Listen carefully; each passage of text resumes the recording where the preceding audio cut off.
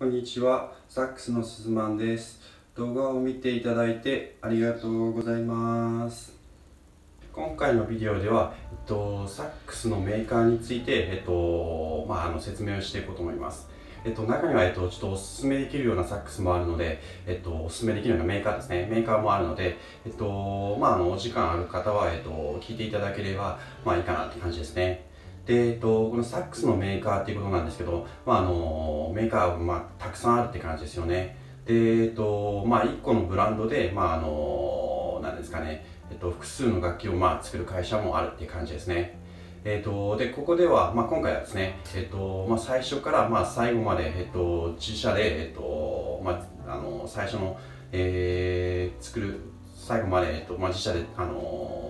作る会社から、えーとですねまあ、他の国に、えー、と委託したりして、えーとまあ、あのサックスを、まあ、作る会社まで、えー、とここでは紹介していこういこうと思います。えっと、まず、えっと、1番目の、えっと、サックスのメーカー1番目なんですけど、えっと、これが、えっと、バッフェクランポンですね。で、ちょっとあの、バッフェクランポンのちょっと歴史について調べたんですけど、まあ、1800年代、えー、これで、まあ、あの最初あの作られた楽器が、まあ、あのバッフェクランポン、えー、みたいですね。で、まあ、結構だいぶあの昔の、えっと、まあ、歴史があるかあの楽器メーカーって感じですよね。であのまあ、あのバフェクランポン自体は、えっと、初心者用の,、えの楽器から、えっと、それからプロ用の、えっとまあ、サックスまで、えー、両方作ってるって感じですねで、えっと、バフェクランポン自体はあのですね、えっと、クラリネットとかオーボエとか、えっと、バスーンも使っている会社として、まあ、有名な感じですねで、えっと、バッフェクランボン自体はですね、えっと、クラリネットで、えっと、使う人が、まあ、多い印象を受けるって感じですね。で私が、えっと、持っているあのリガチャーですね、まあ、このリガチャではないんですけど、えっと、サックスの、えっとまあ、結構、えっと、古いリガチャなんですけど、まあ、そういった、えっとえリガチャも作ってたりするって感じですね。で結構ですね、えっとまあ、あのいい音が、まあ、したっていう感じがあのありあります、えー、まだあのどっかあの押し入れの方に、えー、なか、まあ、クローゼットの中かちょっとわかんないですけど、まあ、その辺の、えーと、中に、えーと、入ってると思うんですけど、えーと、バッフェクランポンの、えー、とリガチャも、えー、とすごいあのいいリガチャですね。えー、とそれがまあ1番目の、えー、とバッフェクランポンですね。で次、えー、とジュピター、ジュピター、えー、メーカーですね、えー、に行こうと思います。でまあ、歴史をちょっと調べると、ジュピター自体は、えー、と1930年代ぐらいに、まあ、あの会社が作られたみたいです。でえっと、イメージとしてはあのジュピター自体の、えっと、サックスはですね、えっとまあ、初心者とかに、まあ、向けた、えっと、サックスを作っているイメージですね。で、まあ、値段は、まあ、結構、えっと、割と安いかなって感じですね。多分、えっとまあ、3万ぐらいとかからで、えー、買えるんじゃないかなと思うんですね。でなんかあのいろんなキットもついてて例えばなんかあの掃除用のキットとかおそらくリードとか、えっと、マウスピースとかあとは、まあ、その簡単なリードケースみたいなのもあのついてくる、まあ、入門キットみたいな、えーと、感じのサックスとして、まあ、手に入れることがあのできるメーカーの一つですね。で、まあ、あのジュピター自体はあの安いサックスって感じで、まああのまあ、入門者として、えっとまあ、あのいいと思うんですけど例えば、えっと、恐ろしくあの安いようなあのサックスとかを、まあ、買うときはあのちょっと注意が必要ですね。っていうのもあの安いサックスっていうのはあのここに、えっとまあ、見えますかねここに、えっと、パッドがあるんですけどこのパッドと、えっと、このキーカップの間に、えっと、主楽っていうものがあってでその主楽の接着剤まあ、主楽って接着剤みたいなもんなんですけどそれをこう使って、えっと、パッドと、えっと、キーカップが、まあ、こうやってあのひっついてる状態なんですけどこれが、えっと、ひどいものによるあのなるとなんか瞬間接着剤とかあと、まあ、結構そういったあのあの取り外しができないようなあの接着剤でついていることがあるみたいなんで、まあ、そういったサックスはちょっと避けた方がいいかなって感じですね。ただ主楽を使っているサックスであればあのパッドが悪くなった時にあのなんかあのヒートガンで炙ったらこのパッド自体を外して、まあ、取り替えることができるんで、えーまあ、そういったサックスであればちょっと問題ないと思うんですけどこうあまりに安いサックスだとあの接着剤があの使われたりっていうことがあるようなんで、まあ、そういったサックスはちょっと避けていただきたいかなって感じですね。まあ、あの詳しいことはあのなんですかねあの楽器屋さんにあの持って行って、まあ、相談されるといいですね、まあ、あのあんまり、えーと、楽器自体を、えーと、自分でやるっていうのもあの結構あの勇気がいるものなんで、まあ、その辺はちょっとあの安いサックスを買うときに、えーと、気をつけていただければいいかなって感じですね。えー、と次、えー、3番目です、えー、カエルベルトですね。でこのカエルベルトなんですけど、えーとまあ、歴史を、まあ、あのちょっと調べてみると1920年代に、まあ、あの中級者レベル以上の、えーと、サックスを、まあ、あの作り始めたのが、えー、始まりのようです。でこのカエルベルトなんですけど、えーとまあ、有名なあの、えー、プレイヤーとしてあの使っているのが、えーと、カーク・ウェラムですね、えー、であのカーク・ウェラムがあの使っている、えーとまあ、有名なあの楽器なんですけど、あのブラックラッカー、まあ、これ自体はあのゴールドラッカーなんですけど、えっと、カーク・ウェラムが使っているのは、まあ、あの楽器全体がこう黒い、えー、感じですねの、えっと、楽器になります。で、まあ、あのカーク・ウェラムのような、あの何ですかね、えっと、ちょっと暗めの音で、なんか温かいような音が、まあ、好きな人は、えっと、ああいったサックスも合うんじゃないかなと思いますね。で、まあ、その辺がちょっとあの、まあ、あの好みの問題っていう感じになってきますね。で、えっと、あとはカーク・ウェラムあの自体は、えっと、ゴスペルとかあとは、まあ、あのチャーチミュージックですね。ああいったものをもう結構、えっと、演奏しているので、まあ、あのゴスペルとかあのチャーチミュージックが好きな人はあのああいったカエルベルトとかの、えっとまあ、サックスですね。ああいったものもいいと思いますね。えー、まあ、あの素晴らしいプレイヤーって感じですね。まあ、それが、えっと、カエルベルト、えー、のサックスになります。ちょっと値段は確かに、えっと、高い印象を受けるんですけど、まああのえっとまあ、結構あの有名なプレイヤーも使ってるんで、まあ、あのいいサックスだと思います。でえっと、次の、えっと、メーカーに行くと、えっと、次のメーカーが、えっと、ヤマハですね。でヤマハヤマヤマハさんのあの歴史を遡るとだからあのなんか1800年代に、まああのー、創立はあのされたみたいですね。で、えっと、サックス自体は、まあ、1960年に、あのー、まあ、作り始められたみたいですね。でえっとえっと、私が、まあ、あの最初に買った、えっと、サックスが、えっと、ヤマハの、えっと、ソプラノサックスでした。でこれはですね、えっと、素晴らしい、まあ、私が買ったのは一番あの安い、えー、入門者用の、えっと、ソプラノサックスだったんですけどこのサックスは素晴らしかったですね、えっと、音程がいいし、えー、吹きやすいし、まあ、値段もあの安めっていうのもあったんですけどそれプラス、えっと、ハードケースとかもついてきたりして、えっと、私が、まあ、あのなんですかねえっとまあ、おすすめできる、えっと、ソプラノサックスの、まあ、一つって感じですね。で、えっと、その、まあ、入門者用の、えっと、ソプラノサックスだったんですけど、えっと、あのサックスが、まあ、いいなと思ったのは、あのここ、えっと、ネックと、えっと、本体が、えっと、分かれてないんですね。で、なんかちょっとあの、あのまあ、かか私の勝手な想像かもしれないんですけど、ここのネックと、えっと、何ですかね、えっと、本体自体が分かれてない、えー、楽器は結構なんかあの割となんですかねえっと、うん、まああの音程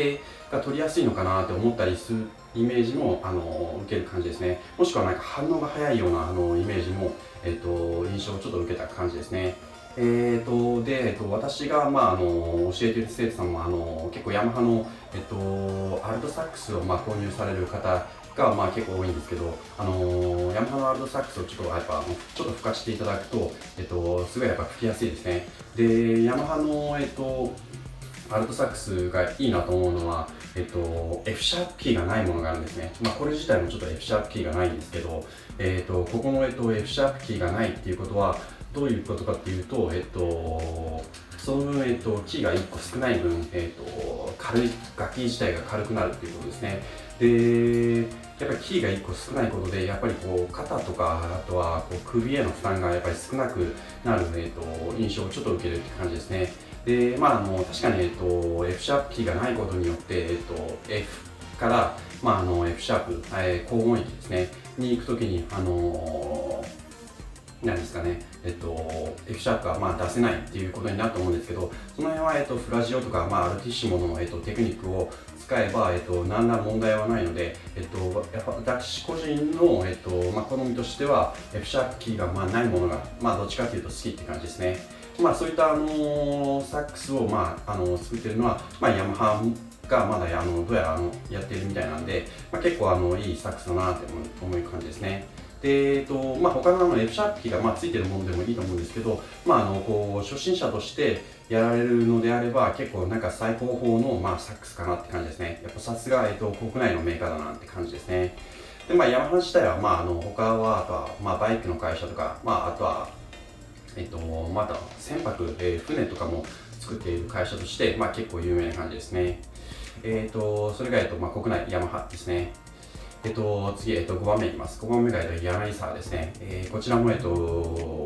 国内のメーカーですね。で、えっと、まあ、歴史をちょっと見てみると、えっと、1950年代に、まあ、始まったのが、えっと、まあ、柳沢ですね。で、えっと、現在のところでは、まあ、柳沢自体、まあ、柳沢さん自体ではですね、は、まあ、結構、あの、高額な、まあ、あの、サックスを作っているって感じですね。ただ、やっぱり、えっと、値段が高いっていうことは、それだけ、あの、あの、意味があって、やっぱりすごいいいサックスを作ってるなっていう感じですね。でやっぱり山柳さんのあのサックスを私もあの1回あの所有したことがあるんですけど、まあ、その時はアルトサックスだったんですけどやっぱりすごいなんですかね吹きやすいし、えーと、音程はいいしっていうことで、あのやっぱりあの海外でもやっぱ結構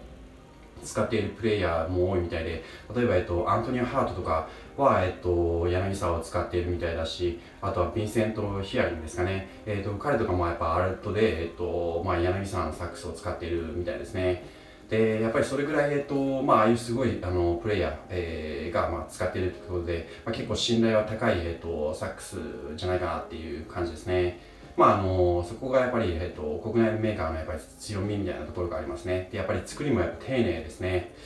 で、えっと、あと、テナーに関しては、ちょっと私は吹いたことがないんですけど、えっと、前、あの、持ってた、あの、テナー、私の友達のジェシカさんっていう人がいたんですけど、まあ、その人が、あの、柳さんのサックスを使ってたんですけど、印象としては、えっと、だいぶこう、なんか、温かいような音を、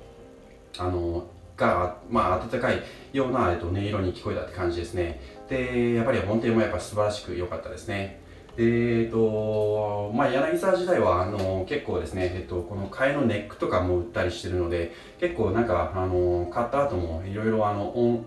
まあ、音色、音色を変えたいのであれば、結構あの楽しめるあの楽器なんじゃないかなっていう感じですね。えーと、でまあ値段は先ほど申し上げた通りやっぱりあのちょっと高めなんですけどやっぱりそれだけのやっぱり価値があるっていうことですねやっぱりおあの多くのお金を払うっていうことはあのやっぱりそれだけあの自信があるからやっぱりそれぐらいのことができるのであってやっぱりそれだけの価値があるサックスをあの提供しているあの素晴らしいメーカーだなっていう感じを、まあ、開けるって感じですね。えーと、次、えー、6番目いきます。6番目が、えーと、ヘンリー・セルマーですね。えーとでまあ、ヘンリー・セルマーの、えー、と歴史をあの辿ってみると、えっとまあ、あの最初のサックスはどうやら1920年代に、えっとえー、どうやら最初のサックスを、まあ、作ったみたいですね。で、えっとまああのサックス自体のあの楽器もあのプロデュースして、まあ、金管楽器とかも、えっと、製造してるみたいですね。で私の、えっと、最初に買った、えっとテナサックスかテナサックスが、えっと、セルマーの、えっと、リファレンス、えー、54っていう、えー、楽器でした。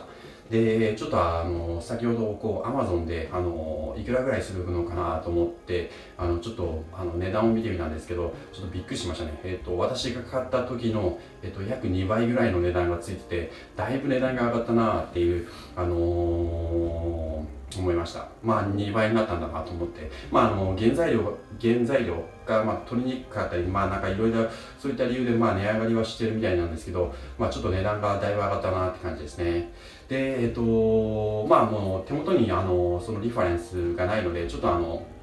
えっと、吹いた時の印象しかあの言えないんですけど、えっとまあ、それ自体はあの F シャープキーはついてたって感じですね。で、えっと、音程は、えっと、すごい取りや取りやすかったですね。で、えっと、なんですかね、音色、音色自体は、えっと、やっぱり結構なんかこう、リファレンスっていうだけあって、こう、やっぱりこう、セルマーのやっぱり、マーク6をやっぱり意識したような、まあ、あの、音色がするって感じですね。で、音はまあ、割とこう、あったかいような、えっと、印象を受けました。まあ、ああいったなんかこう、なんていうんですかね、これはまあ、ゴールドラッカーなんですけど、マットフィニッシュの、えっと、えっと、マットフィニッシュ仕上げのあの楽器かは、まあ、結構割とあのあったかい音があのする傾向にあるような気がします。で、えっと、他にも、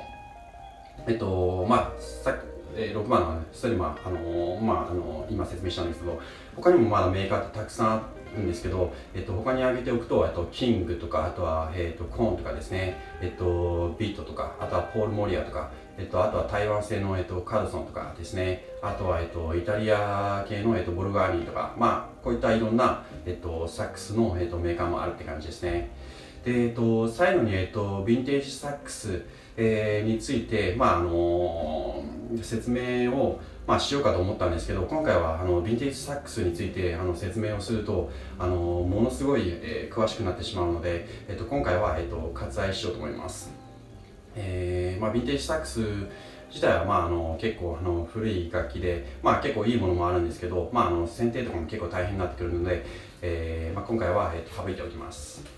で、えっと、今回の、えっと、まとめに入ろうと思います。えっと、今回は、えっと、サックスのメーカーを、えっと、まあ、あの、紹介をしてみました。まず、えっと、1番目が、えっと、バッフェクランポンですね。で、2番目が、えっと、ジュピター。えー、それから、えっと、3番目が、えっと、カエルベルトですね。で、4番目が、えっと、ヤマハ。で、5番目が、えっと、柳沢ですね。えー、6番目が、えっと、ヘンリー・セルマーっていうことになります。で、まあ、あのこれだけあのたくさんメーカーがあるので例えば、えっと、サックスを購入される際にですね、えっと、最終的にはやっぱり自分で吹いて、えっと、自分でそれがあの好みの音かどうかっていうのを必ず確かめて買っていただいた方がいいっていうことですね。っていうのもやっぱりこうサックスっていう楽器自体がやっぱりアコースティックなあの楽器であってでメーカー自体メーカー自体によってもあのいろいろ音が異なるしあの、まあ、あの使いやすさとかあとはまあ結構重さが気に入るとか、まあ、いろんなあの要素がこういろいろ絡んできて最終的にはやっぱりあの自分で決めていただかなきゃいけないのでやっぱり、えっと、オンラインで、まあ、すぐ購入するよりもやっぱり一度、あの実際ですね、えっと、吹くことができるのであればあの吹いていただいてあの購入されるのが一番いいって感じですね。まあ、あのそそんな感じで、えっと、今回は終わろうと思います。では、さよなら。最後までご覧いただいてありがとうございます。少しでもあのサックスの練習方法などに役に立ったっていうのであればチャンネル登録をしていただけると励みになりますのでよろしくお願いします。